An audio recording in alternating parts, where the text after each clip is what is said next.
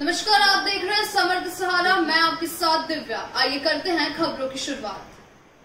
केंद्र की भाजपा मोदी सरकार द्वारा प्रतिदिन हर हफ़्ते बढ़ाए जा रहे पेट्रोल, डीजल भाव और मध्य प्रदेश भाजपा शिवराज सरकार के मनमाने बिजली बिल के विरोध में कलेक्टर नरसिंहपुर के माध्यम से राज्यपाल महोदय के नाम ज्ञापन सौंपा।